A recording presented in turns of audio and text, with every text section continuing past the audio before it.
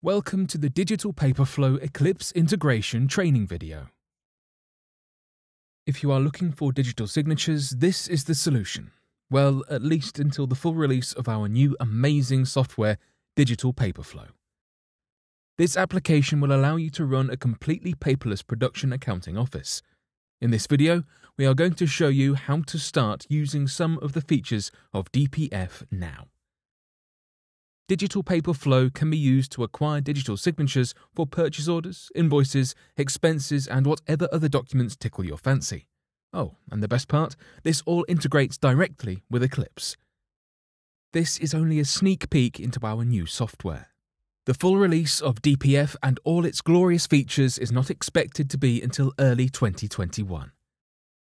First, let's enter an example of an invoice. Open Accounts Payable invoice check entry, and insert a new batch and invoice like usual. Now, before entering the invoice details, click the Attachments tab and click the Select File button.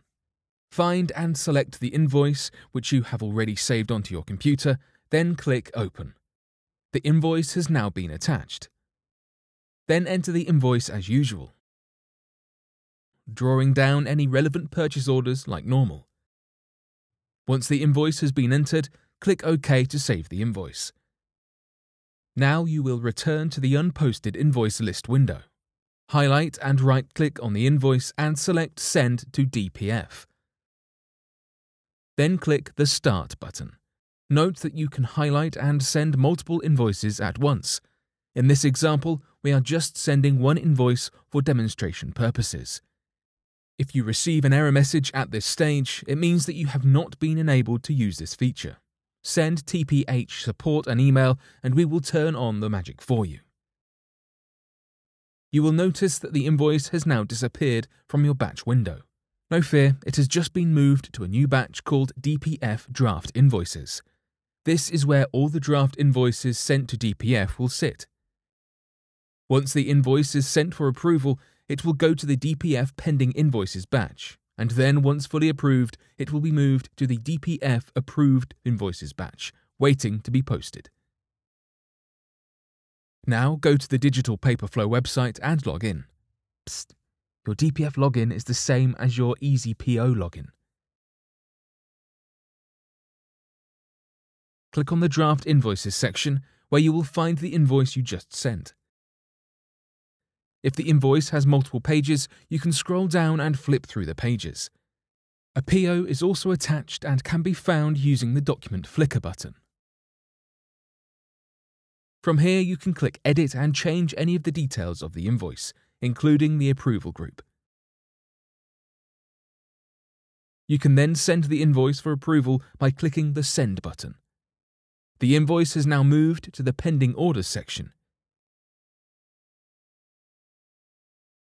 you can now see that the invoice is sitting with the first approver, T. Lannister. The approver has now received an email stating that there is an invoice awaiting their approval. The approver will only get one notification email every hour for up to 10 orders that will need their approval. So don't worry if you are sending lots of invoices, DPF will not spam the approver's inbox. These default settings can always be changed. Let support know if you would like to make amendments to the frequency of notification emails. Let's log in as the approver to demonstrate approving an invoice. The approver can click on the Approve Invoices section and select the invoice they wish to view. Again, they can view multiple page invoices and flip through attached purchase orders and documents. The system also generates an input report for every invoice where they can see the breakdown of coding and purchase order drawdowns. The approver can use the Edit button to amend the transaction line descriptions, chart codes, or flags if necessary. Once the approver is ready, they can approve the invoice by clicking the Approve button. This approver was the only approver, so the invoice has moved to the Approved Invoices section and displays the digital signature and approval timestamp. Once the invoice is fully approved, it will appear in the DPF approved batch and the approved document will be attached. From there, you can run your reports and post as normal. Next, let's show an example of sending an expense form for approval. In Eclipse, go to Petty Cash Entry. I have already entered an expense form in this open batch. Like before, let's add the PDF of the expense form using the Attachments tab. The HMRC no longer requires the Accounts Office to retain the original receipts. Scanned copies are allowed. Therefore, I can use Eclipse to store the receipts versus retaining the originals. Thus, I have included the scanned receipts with my PDF attachment. Click OK to save the changes. And then again, like before, highlight the expense claim form, right-click and select Send to DPF. Open the DPF website and select the Expenses Draft section. Note that some documents can take longer to load in DPF depending on the file size. Once it loads, you can see that all the pages are attached using the page flicker. You can use the Edit button to amend the approval group if necessary.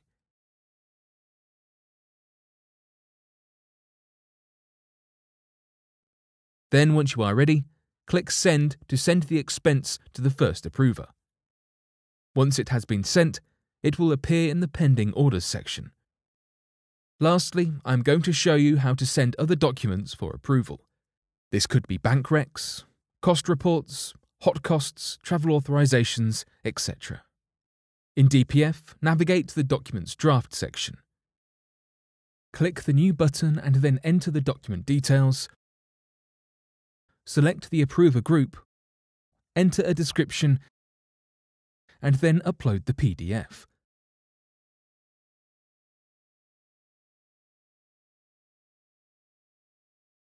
Click Save, and then Send for approval. The approved document will be stored in DPF.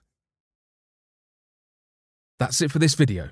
Again, this is only a small preview to the new Digital Paperflow website and its capabilities. Stay tuned for the full release of DPF. If you have any questions or feedback, let us know.